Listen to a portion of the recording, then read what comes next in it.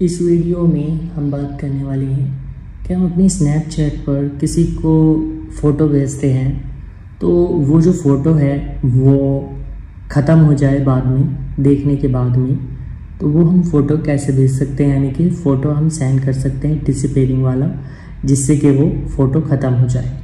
तो वो कैसे करेंगे? देख लीजिए यहाँ पर। सबसे पहले स्नैपचैट को हम यहाँ पर क्लिक करके खोलते हैं और यहाँ पर हम चैटिंग में ही हैं।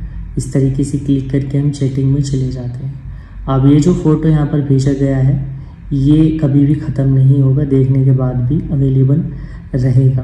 तो हमें डिसपेयरिंग वाला फ़ोटो कैसे भेज सकते हैं, ये और देख लीजिए। जैसे कि हम यहाँ पर क्लिक करते हैं या कैमरे से फ़ोटो लेते हैं, जैसे कोई से भी फ़ोटो क्लिक करते हैं हम यहाँ से, और यहाँ पर हम फ़ोटो ले लेते हैं, कोई सा फ़ोटो हम ले लेते हैं। अब यहाँ पर क्या करते हैं कि यहाँ पर आपको एक पेंसिल का सा आइकन दिखाई देता है यहाँ पर।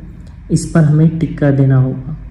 जैसे ही टिक करेंगे, यहाँ पर आपको दिखाई देगा इस तरीके से ये वाला ऑप्शन टाइमर वाला। इसको यहाँ पर हमें नो लिमिट की बजाय एक या दो तीन सेकंड पर लाकर रख देना है। जिससे क्या है, चार सेकंड तक कोई बंदा देखे तो ही बस यहाँ पर रहे। उसके बाद आप इसे यहाँ पर सेंड कर दीजिए। तो बंदा जैसे ही क्लिक करेगा, इसे खोलेगा और उसके बाद चैट चार सेकंड तक दिएगा, उसके बाद ये गायब हो जाएगा उसकी आईडी पर से। तो इस तरीके से आप भेज सकते हैं। अगर वीडियो अच्छी लगी हो तो लाइक कर दीजिएगा और चैनल को सब्सक्राइब भी कर दीजिएगा।